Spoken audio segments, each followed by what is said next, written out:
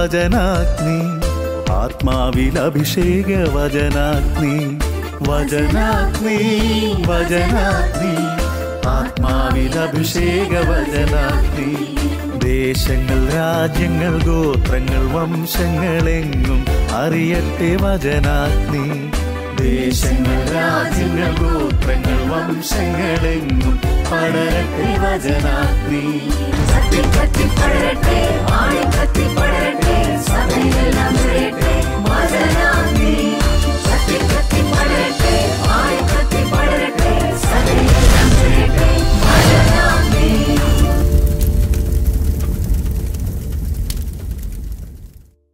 യേശുവിൽ ഏറ്റവും പ്രിയപ്പെട്ട എന്റെ സഹോദരി സഹോദരിമാരെ നിങ്ങളേവരെയും ഏറെ സ്നേഹത്തോടെ യേശുനാമത്തിൽ ഈ വചന ശുശ്രൂഷയിലേക്ക് സ്വാഗതം ചെയ്യുന്നു. നാം ഇന്ന് ധ്യാനിക്കുന്ന വചനം സങ്കീർത്തനങ്ങൾ നൂറ്റി നാൽപ്പത്തി നാല് ഒന്നാം തിരുവചനമാണ്. എന്റെ അഭയശിലയായ കർത്താവ് വാഴ്ത്തപ്പെടട്ടെ യുദ്ധം ചെയ്യാൻ എന്റെ കൈകളെയും പടപൊരുതാൻ എന്റെ വിരലുകളെയും അവിടുന്ന് പരിശീലിപ്പിക്കുന്നു. പ്രിയപ്പെട്ടവരെ കഴിഞ്ഞ ആഴ്ച ലഭിച്ച ഒരു കൗൺസിലിംഗ് കോളിലെ അനുഭവം നിങ്ങളുമായി പങ്കുവയ്ക്കാനായിട്ട് ആഗ്രഹിക്കുകയാണ്. ഒരു സർക്കാർ ജീവനക്കാരിയായ മറ്റാരും സഹായിക്കാനില്ലാത്ത വിധവയായ ഒരു സ്ത്രീ തന്റെ ജോലിയിലെ ഒരു പ്രൊമോഷൻ സംബന്ധമായിട്ടുള്ള കാര്യത്തിനു വേണ്ടി കുറേ നാളുകളായി പ്രാർത്ഥനാ സഹായം ചോദിക്കാറുണ്ടായിരുന്നു. ഏറെ സങ്കീർണമായ നിയമത്തിന്റെ നൂലാമാലകളിലൊക്കെ പെട്ട ഒരു വിഷയമാണ് ഈ പാവപ്പെട്ട സ്ത്രീക്ക് നീതി ലഭിക്കേണ്ടിടത്ത് അതിന് തടസ്സമിട്ടുകൊണ്ട് അവർ ജോലിക്ക് ജോയിൻ ചെയ്തതിന് ശേഷം ജോയിൻ ചെയ്ത മൂന്ന് വ്യക്തികൾ കരുനീക്കങ്ങൾ നടത്തിക്കൊണ്ടിരിക്കുകയായിരുന്നു. ഈ സ്ത്രീ എന്നോട് പറഞ്ഞു മാഡം എനിക്ക് വേറെ ഒന്നും ആഗ്രഹമില്ല. എന്റെ കാര്യങ്ങളെല്ലാം ഏറെ ബുദ്ധിമുട്ടിയാണെങ്കിലും ദൈവം നടത്തി തരുന്നുണ്ട്. രണ്ട് മക്കളെ കല്യാണ പ്രായമാക്കി. കല്യാണം നടന്നിട്ടില്ല. നല്ല ഒരു ജോലിയിലേക്ക് പതുക്കെ പ്രവേശിച്ചുകൊണ്ടിരിക്കുകയാണ്. രണ്ട് പെൺകുട്ടികളാണ് വിവാഹ ആവശ്യത്തിന് പണം ഇനിയും ആവശ്യമായി വരും. ഒരു സാധാരണ ജോലിയാണ് വലിയ ശമ്പളമൊന്നുമില്ല. എന്നാൽ ഈ ഒരു ജോലിയുടെ പ്രശ്നത്തിൽ കൂടെ ഒന്ന് കടന്ന് പ്രൊമോഷനിലൊന്ന് എത്തിയാൽ അല്പമൊക്കെ വ്യത്യാസം ശമ്പള കാര്യത്തിൽ ഉണ്ടാകും. അതുകൊണ്ട് അല്പം കൂടെ ഒന്ന് ഈ കുട്ടികളെ നന്നായിട്ട് ഒരു ഭാവിയിലേക്ക് പ്രവേശിപ്പിക്കാൻ സാധിക്കുകയും ചെയ്യും. രണ്ട് കുടുംബത്തിൽ നിന്നും വലിയ സപ്പോർട്ടുകളൊന്നും ഇല്ലാതെ സ്വന്തം വരവിൽ വളരെ സൂക്ഷിച്ച് ചിലവഴക്കി ജീവിക്കുന്ന ഒരു വീട്ടമ്മ. ഭർത്താവ് മരിച്ചിട്ട് ഏകദേശം പത്ത് വർഷത്തോളമാകുന്നു രണ്ട് പെൺകുട്ടികളെയും കൊണ്ട് ഏറെ കഷ്ടപ്പെട്ടാണ് ഈ ഒരു സ്റ്റേജ് വരെ എത്തിയത്. വളരെ ചെറിയ ഒരു വീടും അല്പം ഒരു നാല് സെന്റ് സ്ഥലവും കൂടെ ഈ സ്ത്രീക്ക് ഉണ്ട്. പ്രിയപ്പെട്ടവരെങ്കിലും ഈ വീട്ടമ്മ എന്നോട് പറയുമായിരുന്നു എന്റെ ഇഷ്ടമല്ലല്ലോ മാഡം. ദൈവത്തിന്റെ ഇഷ്ടം നടക്കട്ടെ. ഞാൻ ആശ്രയിക്കുന്ന ഒരു വചനം യശയുടെ പുസ്തകം അമ്പത്തിനാലാം അധ്യായം അഞ്ചാം തിരുവചനമാണ്. കർത്താവാണ് നിന്റെ ഭർത്താവ്. അപ്പോൾ എന്റെ കാര്യം കർത്താവ് നോക്കുക തന്നെ വേണം. ഇത്രയും എന്നെ നടത്തിയില്ലേ? തീർച്ചയായും നടത്തും. എനിക്കേറെ വിഷമം തോന്നുന്ന ഒരു ഫോൺ കോളുകളാണ്. കാരണം ഏറെ കഷ്ടപ്പെട്ടും പ്രാർത്ഥനയിലും ഒക്കെ കഴിയുന്ന ഇവർക്ക് നീതി നടപ്പിലാക്കി കിട്ടുന്നില്ലല്ലോ എന്നുള്ള ഒരു വിഷമം ഉണ്ടായിരുന്നു. പ്രാർത്ഥിക്കാമെന്ന് പറഞ്ഞു. ഈ സ്ത്രീ തന്നെ എന്നോട് പറയും ദൈവത്തിന്റെ ഇഷ്ടം നടക്കട്ടെ മാഡം. എനിക്കത് ആവശ്യമാണെങ്കിൽ എന്റെ ദൈവം എനിക്ക് തക്ക സമയത്ത് അത് ചെയ്തു തരും. ആഴത്തിലുള്ള വിശ്വാസം. പ്രിയപ്പെട്ടവരെ ഈ സ്ത്രീ എന്നോട് കഴിഞ്ഞ ആഴ്ച ഫോൺ ചെയ്തപ്പോൾ പറയുകയാണ് മാഡം എന്റെ പ്രമോഷന്റെ കാര്യം ശരിയായി? ഞാൻ ഏറെ അത്ഭുതത്തോടെ ചോദിച്ചു ഇതെങ്ങനെ സംഭവിച്ചു? അപ്പോൾ ആ സ്ത്രീ ചിരിച്ചുകൊണ്ട് പറഞ്ഞു പരിശുദ്ധാത്മാവ് വന്നു അത്യുന്നതന്റെ ശക്തി പ്രവർത്തിച്ചു ഈ അത്ഭുതം നടന്നു. ഹബക്കുക്കിന്റെ പുസ്തകത്തിൽ പറയുന്ന പോലെ പറഞ്ഞാൽ ആരും വിശ്വസിക്കാത്ത ഒരു കാര്യം ദൈവം എനിക്ക് വേണ്ടി ചെയ്തു തന്നിരിക്കുന്നു. നന്ദി പറയാൻ വിളിച്ചതാണ്. പ്രിയപ്പെട്ടവരെ ആ സ്ത്രീയുടെ കേസിന് അവധി പറഞ്ഞിരുന്ന ഒരു ദിവസം കോടതിയിൽ ഇവർ ഹാജരാകാൻ പോകേണ്ടി വന്നു. മറ്റു മൂന്ന് ആൾക്കാർ കൊടുത്ത കേസിലാണ് ഇവർ കോടതിയിൽ പോകേണ്ടി വന്നത്. ഇത്തരം കാര്യങ്ങളിലൊക്കെ യാതൊരു പരിചയമില്ലാത്ത ഈ സ്ത്രീ എന്നെ തലേദിവസം വിളിച്ചു പറഞ്ഞു മാഡം നാളെ ഞാൻ കോടതിയിൽ പോകണം എന്റെ കൂടെ ആരുമില്ല. പ്രിയപ്പെട്ടവരെ അവരെ ശക്തിപ്പെടുത്താനുള്ള ഒരു വചനം കൊടുത്തു. ജോഷുവയുടെ പുസ്തകം ഒന്നാം അധ്യായം ഒമ്പതാം തിരുവചനം. ശക്തയും ധീരയുമായിരിക്കുക. ഭയപ്പെടുകയോ പരിഭ്രമിക്കുകയോ ചെയ്യരുതെന്ന് ഞാൻ നിന്നോട് കൽപ്പിച്ചിട്ടില്ലയോ? നീ പോകുന്നിടത്തെല്ലാം ഞാൻ നിന്റെ കൂടെ ഉണ്ടായിരിക്കും. ഇതിലപ്പുറം ഏത് ശക്തിപ്പെടുത്തുന്ന വചനമാണ് ലഭിക്കാനുള്ളത്? ആ വചനം ഏറ്റു പറഞ്ഞുകൊണ്ട് ഇവർ കോടതിയിൽ കടന്നു ചെല്ലുകയുണ്ടായി. വാദപ്രതിവാദങ്ങളെല്ലാം അവിടെ നടന്നു. ഈ വീട്ടമ്മ വീണ്ടും കൂട്ടിച്ചേർത്തു. പോകുന്ന അന്ന് രാവിലെ മാഡം പറഞ്ഞ പോലെ ജപമാല ചൊല്ലി വിശുദ്ധ ബലിയിൽ പങ്കെടുത്തു. ആരാധനയ്ക്ക് മുമ്പിൽ കുറച്ചു സമയം ഇരുന്നു. കരഞ്ഞു പ്രാർത്ഥിച്ചു. യൂതിത്ത് പ്രാർത്ഥിച്ച പോലെ മറ്റാരും തുണയില്ലാത്ത ഏകയായ എന്നെ സഹായിക്കണമേ എന്ന് ഏറ്റു പറഞ്ഞതിന് ശേഷം ജപമാലയും കഴുത്തിൽ ധരിച്ചുകൊണ്ട് ദൈവം കൂടെയുണ്ട് എന്ന ഉത്തമ ബോധ്യത്തോടെ പോകുന്നതിന് മുമ്പ് ബൈബിൾ തുറന്നപ്പോൾ ആ സ്ത്രീക്ക് കിട്ടിയ വചനമാണ് ഞാൻ ഇന്ന് നിങ്ങളുമായി പങ്കുവച്ചത്. യുദ്ധം ചെയ്യാൻ എന്റെ കൈകളെയും പട പൊരുത്താൻ എന്റെ വിരലുകളെയും അവിടുന്ന് പരിശീലിപ്പിക്കും. ലൂക്കായുടെ സുവിശേഷം പന്ത്രണ്ടാമത്തെ അധ്യായം പതിനൊന്നും പന്ത്രണ്ടും വചനങ്ങൾ നിങ്ങൾ ഭരണാധിപന്മാരുടെ മുമ്പിൽ പോകുമ്പോൾ എന്താണ് പറയേണ്ടത് എന്ന് ഓർത്ത് ഭാരപ്പെടേണ്ട. നിങ്ങൾ സംസാരിക്കേണ്ടത് ആ സമയത്ത് നിങ്ങൾക്ക് ലഭിച്ചിരിക്കും. കാരണം നിങ്ങളല്ല പരിശുദ്ധാത്മാവായിരിക്കും സംസാരിക്കുക. ഈ വചനം പറഞ്ഞു കൊടുത്തിരുന്നു. ഈ വചനങ്ങൾ ഏറ്റു പറഞ്ഞുകൊണ്ട് എന്റെ കൂടെ യുദ്ധം ചെയ്യാൻ എന്റെ ദൈവമുണ്ട് എന്ന ബലത്തിൽ ഈ സ്ത്രീ പോയി. ഇവർ പറയുകയാണ് എവിടെ നിന്നാണെന്ന് എനിക്കറിയില്ല. എത്രയോ ആൾക്കാരുണ്ടായിരുന്നു. അവരുടെ മുഖമൊന്നും ഞാൻ കണ്ടതേയില്ല. എന്നോട് ചോദിച്ചതിനെല്ലാം വ്യക്തമായും കൃത്യമായും സത്യമായിട്ടുള്ള വിവരങ്ങൾ ഞാൻ അവിടെ ബോധിപ്പിക്കുകയുണ്ടായി. ഇന്നലെ ആ കേസിന്റെ വിധി വന്നു. എനിക്ക് അനുകൂലമായി എന്റെ പ്രൊമോഷൻ സാധൂകരിച്ചുകൊണ്ട് എനിക്ക് വിധി വന്നിരിക്കുകയാണ്. അതുവരെ മനസ്സിൽ തോന്നാതിരുന്ന ഒരു കാര്യം വിശദീകരിക്കാൻ ഇവർക്ക് ആ സമയം സാധിക്കുകയും അത് വ്യക്തമായിട്ടുള്ള ഒരു എവിഡൻസ് ആയി കോടതി പരിഗണിക്കുകയും ചെയ്തു. പ്രിയപ്പെട്ടവരെ പലപ്പോഴും നമ്മുടെ ജീവിതത്തിലും ഇതുപോലെ നിർണായകമായ ഇനി എങ്ങനെ മുൻപോട്ട് പോകണം എന്ത് സംഭവിക്കും എന്ന സന്നിഗ്ധാവസ്ഥയിൽ നിൽക്കുന്ന പല അവസരങ്ങളിലും കർത്താവ് നേരിട്ട് ഈ വഴിക്ക് പോ ഇങ്ങനെ പറയ് ഇങ്ങനെ ചെയ്യ് എന്ന് വ്യക്തമായി നമ്മുടെ ഉള്ളിലിരുന്ന് സംസാരിച്ച് നമ്മെ കൈപിടിച്ച് നടത്തുന്ന അനുഭവങ്ങൾ പലപ്പോഴും എന്റെ ജീവിതത്തിൽ ഉണ്ടായിട്ടുണ്ട്. എന്നെ ശ്രവിച്ചുകൊണ്ടിരിക്കുന്ന അനേകം പേർക്ക് ഇത് അനുഭവമാണെന്ന് കൃത്യമായി അറിയാം.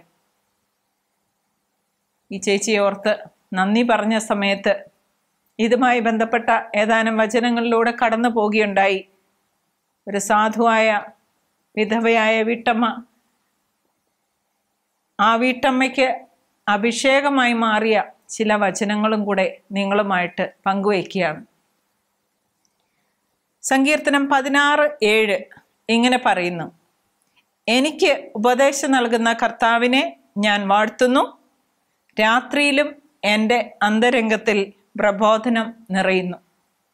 ചില കാര്യങ്ങൾ എങ്ങനെയാണ് കൈകാര്യം ചെയ്യേണ്ടത് എന്ന് ദൈവസന്നിധിയിലിരുന്ന് പ്രാർത്ഥിച്ചു കഴിയുമ്പോൾ പെട്ടെന്ന് ഒരു ഉൾവിളിയായി ഇങ്ങനെ ചെയ്യ് അങ്ങനെ ചെയ്യ് എന്ന പ്രബോധനം പലപ്പോഴും നമുക്കെല്ലാവർക്കും ലഭിക്കാറില്ലേ? വീണ്ടും വചനം ഇങ്ങനെ പറയുന്നു. പ്രഭാഷകന്റെ പുസ്തകം നാൽപ്പത്തി ആറാമത്തെ അധ്യായം. ജോഷുവയുടെ കാര്യമാണ് പറഞ്ഞിരിക്കുന്നത്. ജോഷുവയുടെ ഒരു വിജയത്തിന്റെ കാര്യം ശക്തമായി അവിടെ പറഞ്ഞിരിക്കുന്നു. നാൽപ്പത്താറാം അധ്യായം ഒന്ന് മുതൽ ഏഴ് വരെയുള്ള വചനങ്ങളിൽ നാം കടന്നു പോകുമ്പോൾ നമുക്ക് മനസ്സിലാക്കുന്ന കാര്യമാണ് കർത്താവിന്റെ സന്നിധിയിലാണ് അവൻ യുദ്ധം ചെയ്തത്. കർത്താവിന്റെ സന്നിധിയിലാണ് അവൻ പടവെട്ടിയത് അവിടെ അവൻ വിജയിക്ക തന്നെ ചെയ്യും. കാരണം കർത്താവ് അവനു വേണ്ടി യുദ്ധം ചെയ്യും. ആ വചനങ്ങളിൽ നമുക്ക് കാണാൻ സാധിക്കും ഇസ്രായേലിനെ ആക്രമിച്ച ശത്രുക്കളോട് പ്രതികാരം ചെയ്ത് അവൻ അവരുടെ അവകാശം നേടിക്കൊടുത്തു. നഗരങ്ങൾക്കെതിരെ വാളുയർത്തിയപ്പോൾ അവൻ എത്ര പ്രതാപശാലിയായിരുന്നു.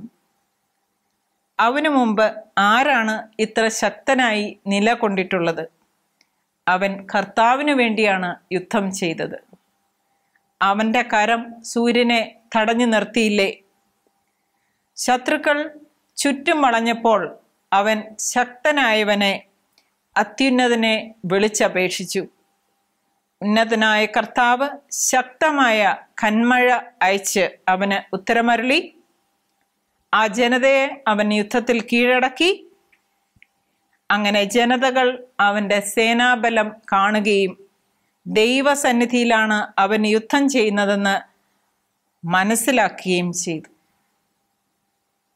പ്രിയപ്പെട്ടവരെ പല ജീവിത സാഹചര്യങ്ങളിലും മറ്റാരും സഹായിക്കാനില്ലാതെ ഇനി എന്ത് ചെയ്യണം എന്ന് വിചാരിച്ച് വിഷമിച്ച് നിൽക്കുമ്പോൾ ദൈവം നേരിട്ട് വന്ന് സഹായിച്ച് ആ പ്രതിസന്ധിയിൽ കൂടെ കടത്തിക്കൊണ്ട് പോകുന്നത് നാം കാണാറില്ലേ? ജീവിതത്തിന്റെ പൊള്ളുന്ന യാഥാർത്ഥ്യങ്ങളിലൂടെ കടന്നു പോകുമ്പോൾ ഏശയുടെ പുസ്തകം നാൽപ്പത്തി മൂന്നാം അധ്യായത്തിലെ വചനങ്ങൾ നാം ഓർമ്മിക്കേണ്ടിയിരിക്കുന്നു. നീ ജലത്തിൽ കൂടെ കടന്നാലും അത് നിന്നെ മുക്കിക്കളയില്ല അഗ്നിയിൽ കൂടെ കടന്നാലും അത് നിന്നെ ദഹിപ്പിക്കുകയില്ല. കർത്താവ് കൂടെ ഉണ്ടെങ്കിൽ ജലവും അഗ്നിയും ഒന്നും നമുക്ക് പ്രശ്നമേ അല്ല. കാരണം ഇതിന്റെ ഇതിന്മേലെല്ലാം ആധിപത്യമുള്ളവനാണ് നമ്മുടെ കർത്താവ്. വീണ്ടും വചനം ഇങ്ങനെ പറയുന്നു. ഹബക് പ്രവാചകന്റെ പുസ്തകം മൂന്നാം അധ്യായം പത്തൊമ്പതാം തിരുവചനം. കർത്താവായ ദൈവമാണ് എന്റെ ബലം കലമാന്റെ പാദങ്ങൾക്കെന്ന പോലെ അവിടുന്ന് എന്റെ പാദങ്ങൾക്ക് വേഗത നൽകി ഉന്നതങ്ങളിൽ അവിടുന്ന് എന്നെ നടത്തുന്നു. അടുത്ത വചനം ജോബിന്റെ പുസ്തകം ഇരുപത്തിമൂന്നാം അധ്യായം പതിനൊന്നാം തിരുവചനമാണ്. എന്റെ പാദങ്ങൾ അവിടുത്തെ കാൽപ്പാടുകളിൽ ഞാൻ ഉറപ്പിച്ചു ഞാൻ അവിടുത്തെ പാത പിന്തുടർന്നു ഒരിക്കലും വ്യതിചലിച്ചില്ല. കർത്താവിന്റെ പാദങ്ങളിൽ പാദങ്ങൾ ഉറപ്പിച്ച് മുന്നോട്ട് പോകുന്നവന് തെറ്റ് സംഭവിക്കുകയില്ല. കർത്താവിന്റെ പാദങ്ങളാണ് അവനെ നയിച്ചുകൊണ്ടിരിക്കുന്നത്. വീണ്ടും നാം പോകേണ്ട വഴി കർത്താവ് നമുക്ക് കാണിച്ചു തരും. സങ്കീർത്തനം പതിനേഴ് അഞ്ച്. എന്റെ കാലടികൾ അങ്ങയുടെ പാതയിൽ തന്നെ പതിഞ്ഞു. എന്റെ പാദങ്ങൾ വഴുതിയില്ല. വീണ്ടും സങ്കീർത്തനം നാൽപ്പതാം അധ്യായം രണ്ടാം വചനം. ഇങ്ങനെ പറയുന്നു. ഭീകരമായ ഗർത്തത്തിൽ നിന്നും കുഴഞ്ഞ ചേറ്റിൽ നിന്നും അവിടുന്ന് എന്നെ കരകയറ്റി. എന്റെ പാദങ്ങൾ പാറയിൽ ഉറപ്പിച്ചു. എന്റെ കാൽവയ്പ്പുകൾ സുരക്ഷിതമാക്കി. കർത്താവിൽ ആശ്രയിക്കുന്നവനെ ഒരു നാളും അവിടുന്ന് തള്ളിക്കളയുകയില്ല എന്നാണ് ഈ വചനങ്ങളെല്ലാം നമ്മോട് സംസാരിക്കുന്നത്.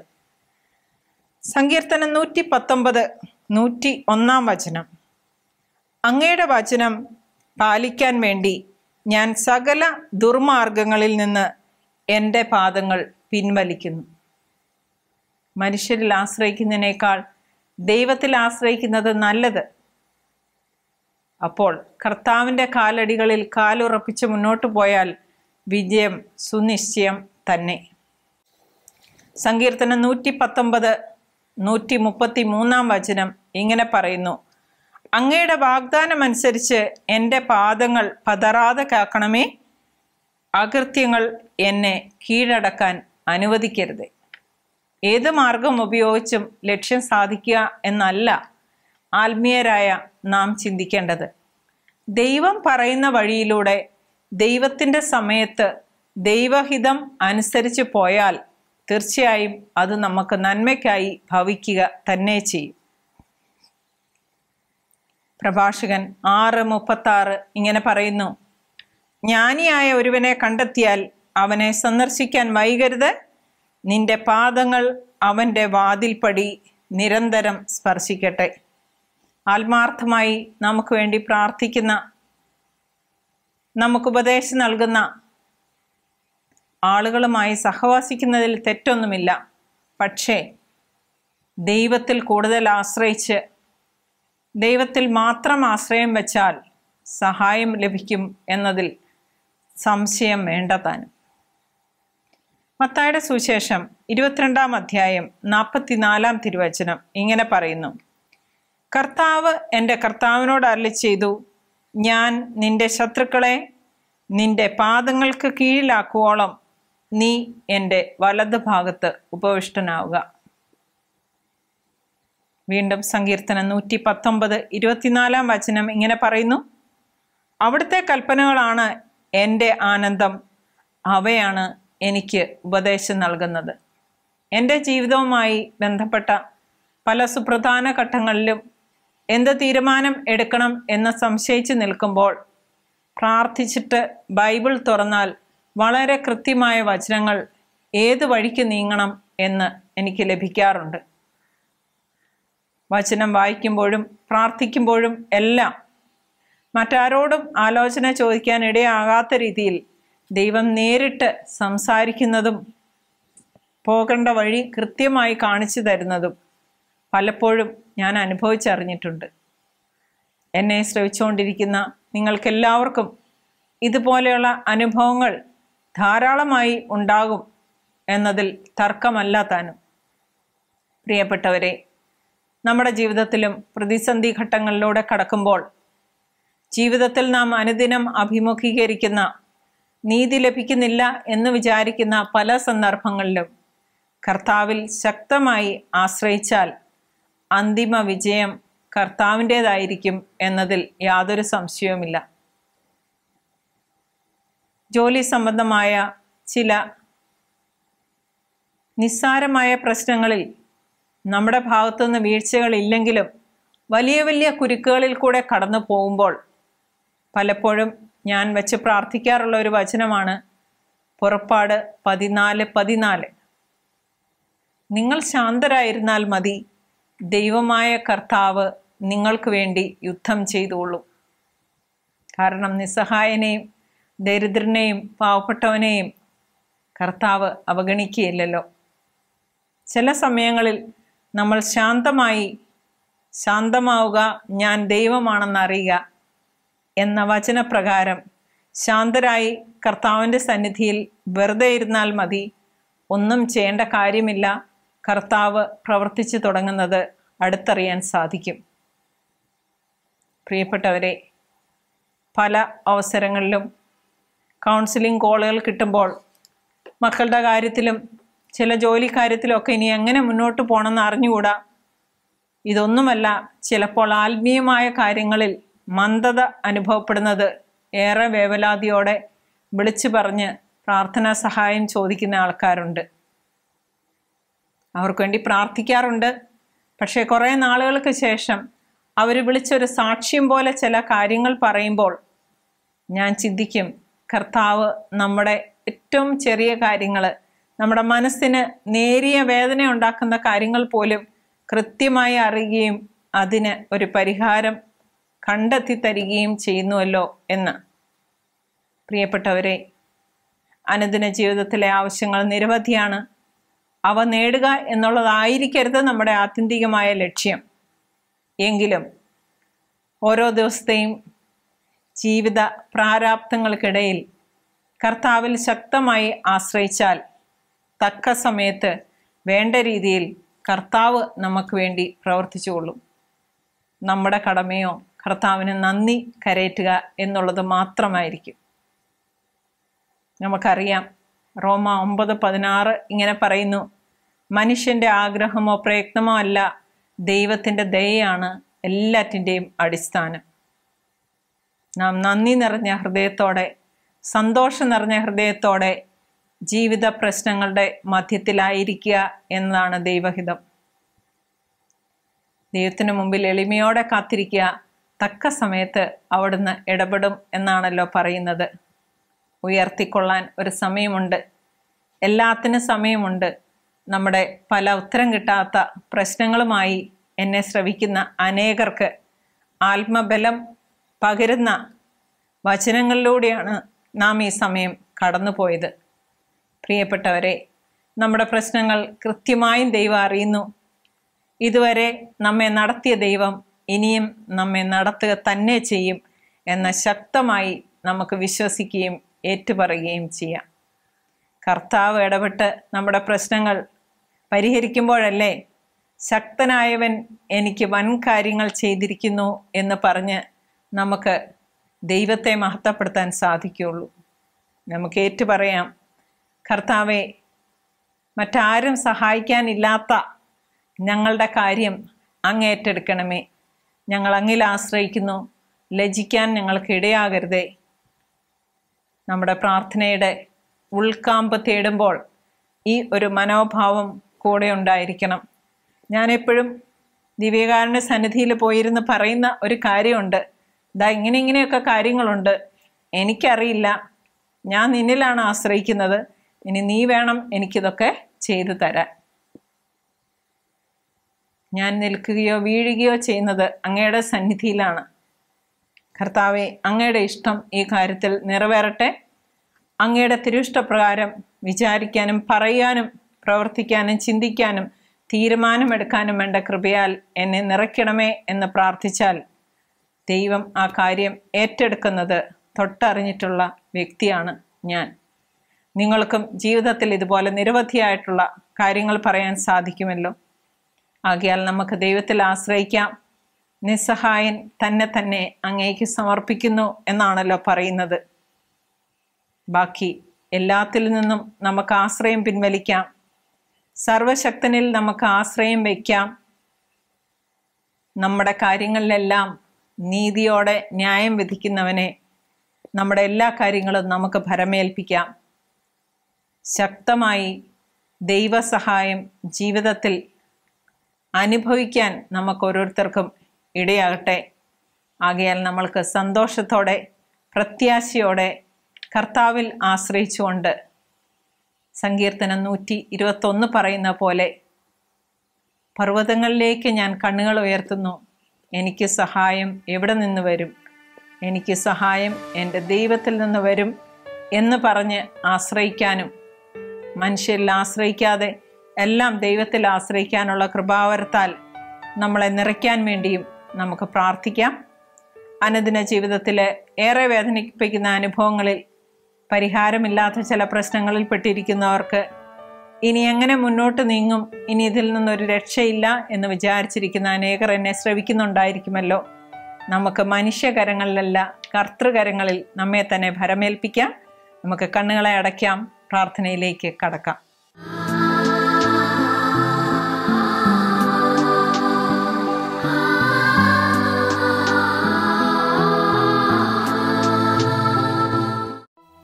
കർത്താവെ ഞങ്ങളുടെ ശക്തനായ യേശുവെ ഈ സമയം അങ്ങ് വചനത്തിലൂടെ ഞങ്ങളോട് സംസാരിക്കുകയായിരുന്നല്ലോ. ഈ നിമിഷം വരെ ഞങ്ങളുടെ ജീവിതത്തിൽ അങ്ങ് പ്രവർത്തിച്ച എല്ലാ അത്ഭുതങ്ങളെക്കുറിച്ച് ഓർത്ത് നന്ദിയോടെ കർത്താവെ സ്തുതിക്കുന്ന കർത്താവെ സ്തോത്രം ചെയ്യുന്നു. ഞങ്ങളുടെ ആഗ്രഹമോ പ്രയത്നമോ അല്ല കർത്താവെ. അങ്ങയുടെ ദയായിരുന്നു എല്ലാത്തിന്റെ അടിസ്ഥാനം എന്ന് ഞങ്ങൾ ഏറ്റു പറയുന്നു കർത്താവെ എന്നെ ശ്രവിച്ചുകൊണ്ടിരിക്കുന്ന അനേകം പേരുണ്ടല്ലോ. ജീവിത പ്രശ്നങ്ങളുടെ നടുവിൽ പരിഹാരമില്ലാത്ത പ്രശ്നങ്ങളിൽപ്പെട്ടവർ ഇനി മുന്നോട്ട് പോകാൻ രക്ഷയില്ല എന്ന് പറഞ്ഞു നിൽക്കുന്നവർ നീതി നിഷേധിക്കപ്പെട്ടവർ വേദനിക്കുന്നവർ വിഷമിക്കുന്നവർ കർത്താവെ രോഗികൾ ആകുലരും ഉത്കണ്ഠാകുലരും മക്കളെക്കുറിച്ച് ഓർത്ത് വിഷമിക്കുന്നവരും ഭാവിയെക്കുറിച്ച് ഓർത്ത് സങ്കടപ്പെടുന്നവരും തീരുമാനം എടുക്കാൻ പറ്റാത്തവരും എല്ലാവരെയും കർത്താവെ ഏറെ സ്നേഹത്തോടെ അങ്ങ് സന്നിധിയിലേക്ക് സമർപ്പിക്കുന്നു. കർത്താവെ അങ്ങ് അറിയുന്നുവല്ലോ യുദ്ധം ചെയ്യാൻ അവരുടെ കൈകളെയും പടപൊരുതാൻ അവരുടെ വിരലുകളെയും അങ്ങ് പരിശീലിപ്പിക്കണമേ. അങ്ങ് അവർക്ക് ഒത്തു നീങ്ങണമേ. അങ്ങ് കൂടെയുണ്ടെങ്കിൽ തീർച്ചയായും അവർക്ക് ജയം സംഭവിക്കുക തന്നെ ചെയ്യും. കർത്താവെ ഞങ്ങളുടെ ഓരോരുത്തരുടെയും നിയോഗങ്ങൾ അങ്ങേ സന്നിധിയിലേക്ക് വയ്ക്കുന്നു.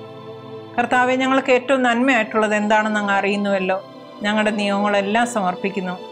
കർത്താവ് ഞങ്ങൾക്ക് നന്മയായിട്ടുള്ളതാണെങ്കിൽ അതെല്ലാം അങ്ങ് നേടിത്തരണമേ എന്ന് പ്രാർത്ഥിക്കുന്നു. ഞങ്ങൾ ചോദിച്ച എന്തെങ്കിലും കാര്യങ്ങൾ ഞങ്ങളുടെ നന്മയ്ക്കായിട്ടുള്ളത് അല്ലെങ്കിൽ കർത്താവെ അങ്ങ് അത് നീക്കിക്കളയണമേ.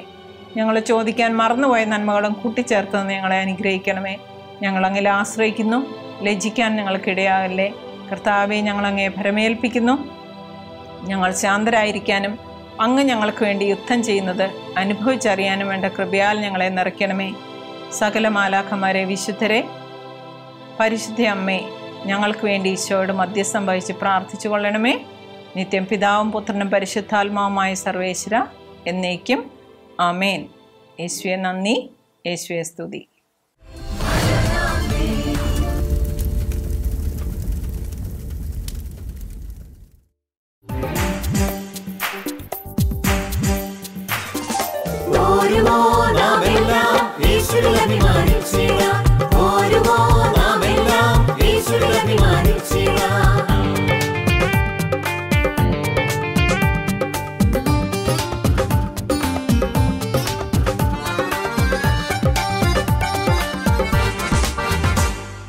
നമ്മുടെ നാഥൻ ഒലിവുമലയിൽ അന്ന് നൽകിയ മിഷൻ ദൂത് തലമുറ തലമുറ കൈമാറി.